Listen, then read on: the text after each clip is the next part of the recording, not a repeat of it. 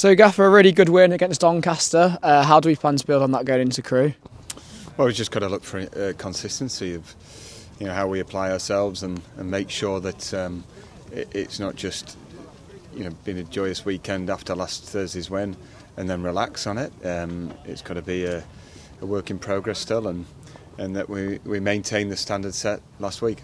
Yeah, hundred percent. And then obviously um, going into Crewe um, off the back of a win and preparations this week. How's that all been going so far? Yeah, good, good yeah. intensity actually to every session, and it, it, uh, it's allowed us a really intense session on Monday, uh, which normally isn't the case because it's a recovery session, uh, and then followed that up with just as intense a session on, on Tuesday. And um, I think that was key last last Thursday was for the entirety of the game we were an intense outfit, uh, full of concentration, but. Um, there's real tenacity to our, and energy to our game, and we have to bring that same positive energy to, to obviously Crewe away. And Crewe themselves, obviously very impressive and had a good season last season. What do you consider their sort of main strengths?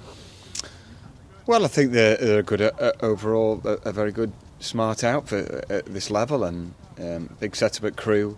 Uh, they always produce uh, good players, but um, normally go with three at the back and well marshalled at the back.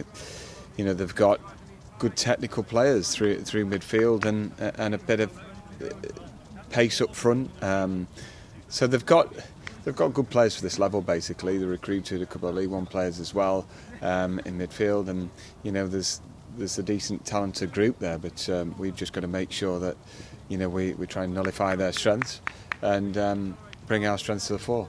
And then Josh March and Jack Muldoon played up front together. Um, how impressed were you with that performance and that partnership? Yeah, I thought they did very well. Um, immense effort from those two, and um, yeah, they they set really high standards on the night. And then busy schedule coming up. Can we expect many changes to the side either this weekend or the next few games with the you know different comp competitions coming up? Well, we'll see. You know, we want to build momentum. Um, we're aware that others are chomping at the bit. Um, but it, last week's performance was a good one.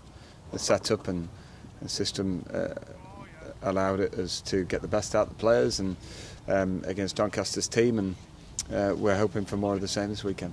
And then two home games next week as well after this away game. How good is that to have you know a few a few home games together? Well, yeah, you know, that's uh, that's why it was important the performance and win last last week because we want to create a real hostile environment for opposition teams to come and uh, and play in. And um, you know, it was, a, it was, a, good tonic for the fans as well as us, uh, and importantly, gets them on our side because that's what we want. And you know, it was a terrific atmosphere at our ground last week, and, and so it'd be good uh, to come back, obviously, with a, another positive performance, and that's our aim. Brilliant. Thank you very much. Cheers.